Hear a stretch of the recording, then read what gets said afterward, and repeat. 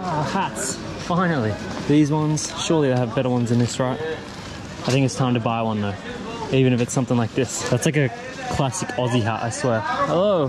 How much are your hats? This is 65. 65. And these ones? 65. Much better price. No, that's the price. No, like I was saying, the other people, they say more expensive. Luxor, Egypt. There's no way this looks good, right?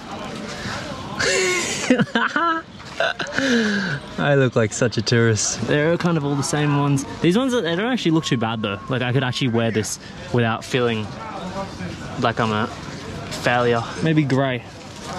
This one? Oh, nice fit. Oh, it actually doesn't look horrible. How much for this one did you say?